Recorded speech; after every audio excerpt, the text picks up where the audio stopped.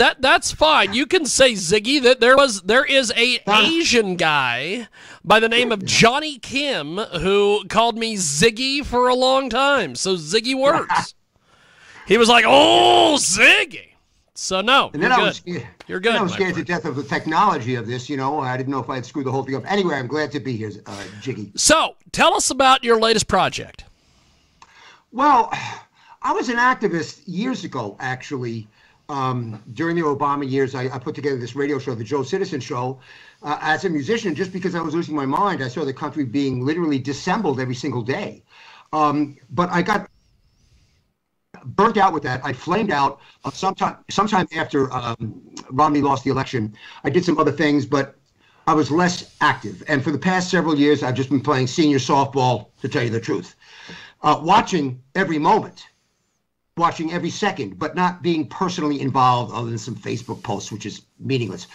Then a very smart friend of mine, Sandy Koplos, he happens to be a senior softball player. And we talk about politics all the time on the phone, you know, an hour or two a day. And uh, he called me one day. He said, "Look, I've got these lyrics of what I did to uh, the ladies of Tramp." I said, oh, "Okay." He brought them over. I said, "Hey, these are pretty good." Said, "You want to do it? Can you sing it?" I said, "I guess so." And uh, that's it. You know, uh, we we got the track, and I, I manipulated the tempo, the the key, um, and we went to the studio, and we said, "Hey, we got something pretty good here. We're pretty proud of it." That's awesome. And then the uh, then the other one I did was uh, a lyric parody. So you don't have real video; it's just the words, which in a way is an advantage for this one. Uh, the opening lines are: uh, "He was framed by Hillary, FBI, and NBC, a deplorable hoax. He was right all along." So that's what we've got in the till right now. And really, the only purpose, Jiggy, was really to try to help get this uh, country back and help uh, the Republicans win this election. I'm not a born Republican. I was a Democrat, like a lot of other people, but these ain't my daddy's. It's not my Democrats. This is not JFK's Democrats. Not, I don't know. These aren't even the Democrats' Democrats. These are communist socialists. And there's so many good Democrats that don't pay attention, that are not looking up, that really have no idea how much has changed.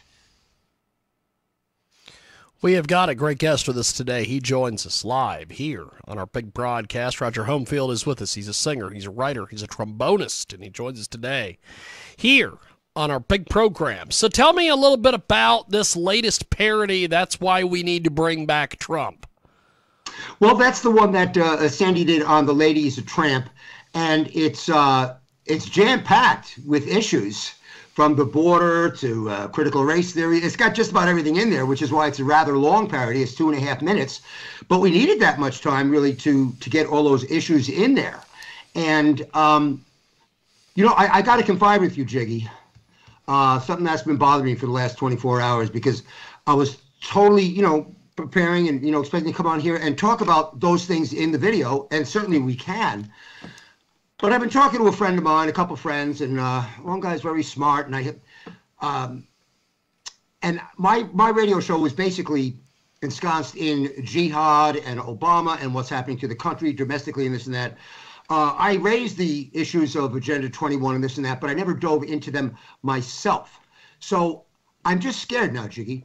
That's how I actually feel. I feel scared because while we're all going to like talk about, like, let's say all the things in our video, which is great. I'm not saying we shouldn't talk about them. They're all important, but we could discuss them all by one and all scratch our heads and say, how can the Democrats be that stupid?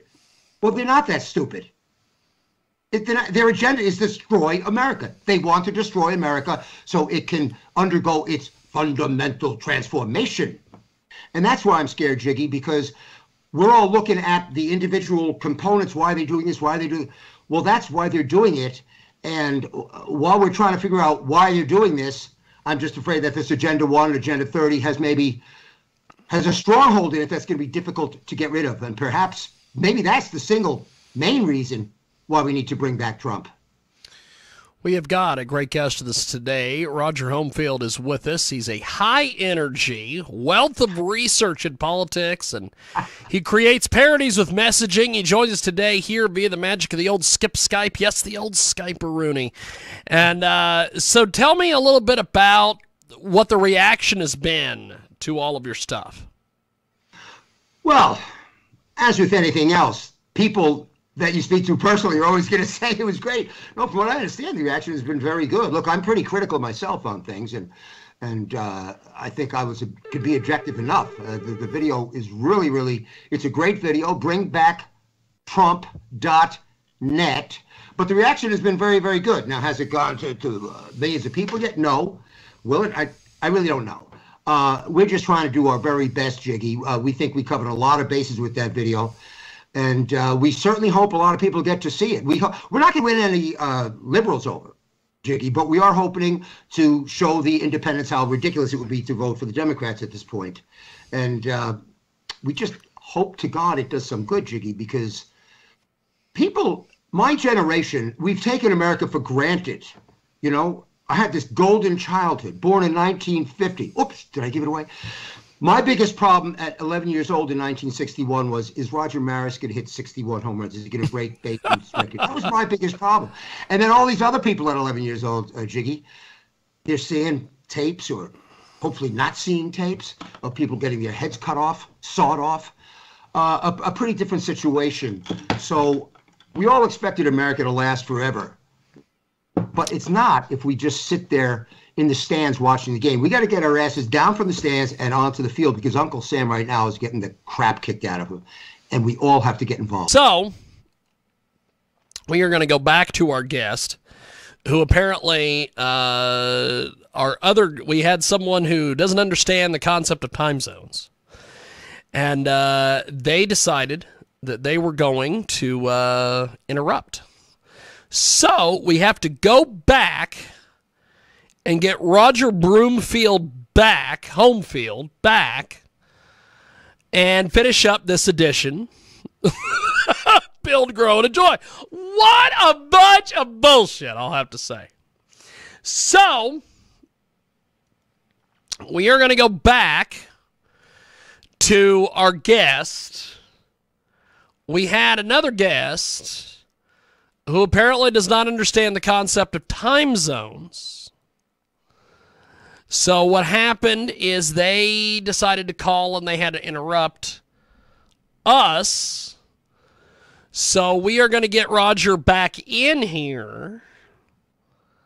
We're going to see if Skype will cooperate.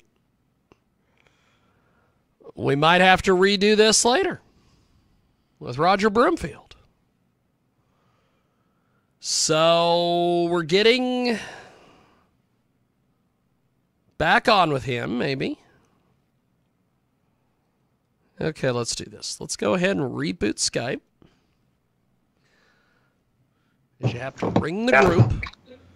Okay, we are back. I think we've got uh, Roger Homefield back with us. I had a uh, I had a guest who apparently does not understand the concept of time zones and was being very rude. And so we got rid of her and we're back with Roger. So um, tell us a little bit about what the reaction has been to your parodies and your music and everything, my friend. I think it's a relief. Look, for, for seven years, the Trump supporters. Uh, by the way, you can hear and see me okay. I've got you, my friend. I've got okay, you. We need right. we, we, we need to get going because people want to hear right. more about you. I don't care about the technical issues. I care about you and your parodies. Tell us all about it, my friend. I'm rocking and rolling and I'm ready to go. So, Tell me I'm all so about it. I'm so glad I have somebody that screams like I do. Look, for seven years, Trump has been getting smacked around right? Yep. Even yep. like people that like him, they say, "Well, we like him, but I wish he would do that." For seven years, he's been getting kicked and smacked around every which way possible. Yes. Um, but lately, more and more so, so has his voters. And I don't have to tell you uh, what Biden's been saying about ultra MAGA, ultra MAGA. You know, it, it, if I didn't know better, Jiggy, if I didn't know better, I, I would think he's uh, trying to set up ultra MAGA people to be like the Jews in Germany before the slaughter. Are we supposed to wear stars of MAGA? Uh, I'm going to have gold six. Uh, you know, uh, it's, it's, that bad though, Jiggy, because I've never seen anything like this. But I think I forgot what your question was. Were you asking about the, rea- what's the reaction? What's been the reaction? What what what what what what do people you know say about your stuff? Hate it, love it, in between. Uh, tell us all about it. That, they love it because somebody is somebody is, is saying what they think, is saying what they feel, and they haven't had a chance to really speak back. They've been getting it like I say, when Trump gets criticized, they call him a traitor. The people that voted for him are on their heels and think, oh my God, you know. And it's been like that for seven years. So uh, the ladies at Tramp think it's got some levity in it. It's very serious, but it has some levity to it. And of course, the other one, uh, the reason I did the second one, Jiggy, uh, uh he was framed by Hillary, the FBI, and NBC, is because nobody seems to know that. I mean, all the low information uh, left wing voters or Democrat voters, they don't know it. They don't want to know it. They don't care. Uh, but how can we have a situation like that where this is documented in Durham's report? uh, which hopefully will be, become completed. But it's in black and white. Hillary hatched the whole Russia, Russia, Russia scheme. Nobody seems to know that. Or if they do, it, I guess it's not a big deal. You got January Sixers, not not saying everything they do was fine, but you got people in jail for a year without trials. But you've got Hillary sitting there. She, she made up the whole video, video. It's the video thing in Benghazi. She hatched this whole Russia, Russia. Aren't you people pissed off that for, for all these years we were led around by the nose by these left wing radicals, by these kook jobs that think you and I are so stupid they can get away with it? And guess what? They have. To this point, they have gotten away with it. Roger Homefield with us today. Before we let you go, my friend, how do we